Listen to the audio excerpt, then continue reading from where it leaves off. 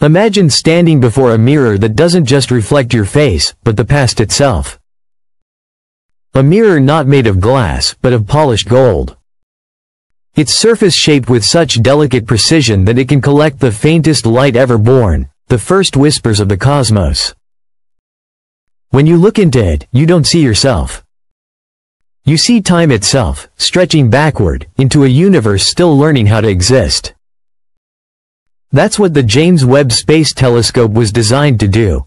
To let humanity look back toward the moment creation first opened its eyes. But when Webb looked deeper than any telescope before it, what it found wasn't simplicity or stillness. It found contradiction. It found impossibility. It found a universe that refused to follow the rules. For generations, science had painted a confident picture of our cosmic story. The Big Bang, not an explosion in space, but of space. Then, a long darkness lasting hundreds of millions of years, before the first stars ignited, before matter began to cluster into the galaxies we know today. The farther we looked back, the simpler things were supposed to be. Scattered hydrogen, chaotic dust, no structure, no order. But when Webb turned its golden mirrors toward what should have been an empty patch of night sky, something extraordinary appeared. A galaxy, not a faint blur, not a primitive cloud, but a fully formed system of stars, spiral arms, and even a black hole at its heart.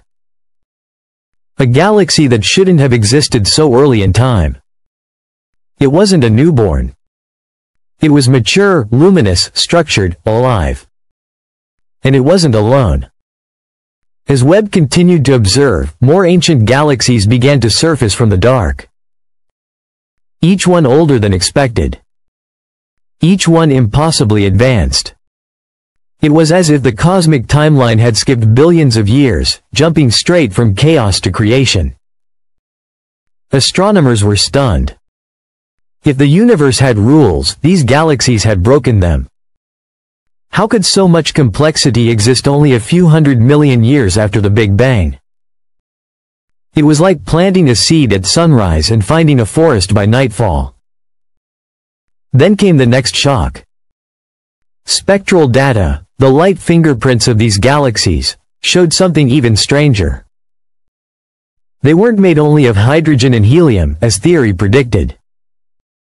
They already contained heavier elements, carbon, oxygen, even iron. But those elements take time to appear. They're forged in the hearts of massive stars, and spread through space only when those stars die in supernova explosions. That cycle takes hundreds of millions, even billions of years. Yet here it was, already complete, less than 400 million years after the beginning. The early universe wasn't crawling forward. It was racing, burning, collapsing, rebuilding itself in record time.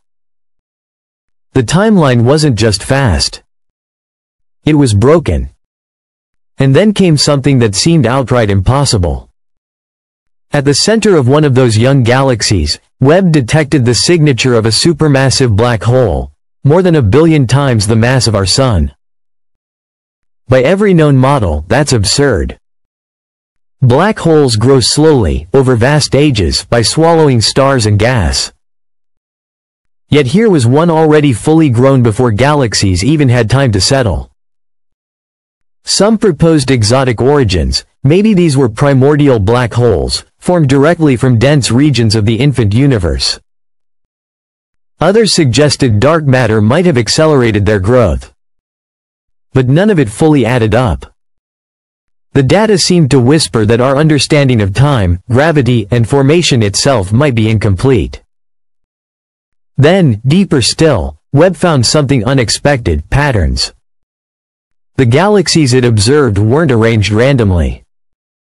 Their shapes, spacing, and rotations followed repeating ratios, echoes of natural geometry seen in seashells, hurricanes, even DNA. Was this coincidence? Or evidence of an underlying cosmic order, a kind of hidden code woven through the structure of reality itself? And then came a discovery that blurred the line between chemistry and life. In the cold space between galaxies, Webb detected traces of complex organic molecules, not simple gases, but carbon-based compounds that form the foundation of amino acids. They weren't bound to any planet. They were drifting freely through space, older than stars, older than Earth. If that's true, then the seeds of life weren't rare accidents. They were present from the very beginning, embedded in the blueprint of the universe. Life, perhaps, isn't an afterthought. It's a consequence. But even that was not the final mystery. There was one image, one that left even the most rational scientist silent. When Webb turned its gaze toward a faint region of space, billions of light years away, it captured something that seemed almost intentional. Six galaxies, perfectly aligned around a central core, each one orbiting in graceful symmetry. Their distances equal. Their motion synchronized. Together, they formed a pattern that defied chance, a celestial mandala, a cosmic flower blooming in the dark. Astronomers searched for an explanation. Could it be a trick of light, a result of gravitational lensing, where massive objects warp the fabric of space, bending light into illusions? Could turbulence in the early universe have sculpted this shape by accident? Or was it something else entirely, a geometry so deliberate that it felt like a signature? Some whispered that maybe this was no coincidence. Maybe it was an arrangement waiting to be noticed. A pattern placed in the sky not for the first stars to see, but for the first consciousness capable of asking why. Because that is what Webb truly is. Not just a machine of mirrors and gold, but a bridge between knowing and wonder. It doesn't merely collect light. It collects meaning. And what it's showing us may not just be the universe as it was, but as it chooses to be when we finally look. Then came the question no one wanted to ask aloud. A question that shakes the foundation of science and philosophy alike. What if the act of observation changes what is being observed? Quantum physics has hinted at this for decades, that particles behave differently when measured, that reality itself seems to respond to awareness. But what if that principle scales upward? What if it applies not just to electrons, but to galaxies? Not just to atoms, but to existence itself? What if, by constructing the James Webb Space Telescope and daring to stare back across time, humanity didn't just uncover the past, but touched it? What if our observation rippled backward through time, folding consciousness into the cosmic equation, rewriting what we thought was history into something far stranger? Because when you peer deep enough into reality, perhaps you don't just see creation. Perhaps, creation sees you. Maybe, in some unfathomable way, the universe has always been waiting for eyes like ours.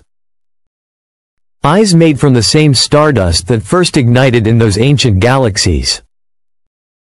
Eyes capable of perceiving not just matter and energy, but meaning. Webb hasn't simply revealed ancient galaxies or colossal black holes. It has uncovered something even more profound, a subtle awareness, echoing through time and space, whispering through the very patterns of creation. Perhaps the universe is not a lifeless machine, but a conscious system, thinking, remembering, evolving through its observers. Maybe we are not outside of it, studying from afar. Maybe we are the universe, studying itself. The galaxies were too advanced. The chemistry, too rich. The black holes, too enormous. The patterns, too deliberate. The molecules, too alive. Each discovery was a reminder that reality may be far more than physics, it might be participation. That to look into the depths of time is to awaken something that was always there, a connection between mind and matter, observer and observed. James Webb didn't just open a new window into the cosmos. It opened a window into truth. A truth so vast and ancient that to glimpse it is to feel the universe breathing through you. Maybe what it found wasn't the beginning of everything, but the memory of everything. A record written not in words, but in light. A memory that stretches across eternity, waiting for us to remember it. And perhaps, just perhaps, when Webb stared into that infinite reflection, the cosmos looked back, and remembered us.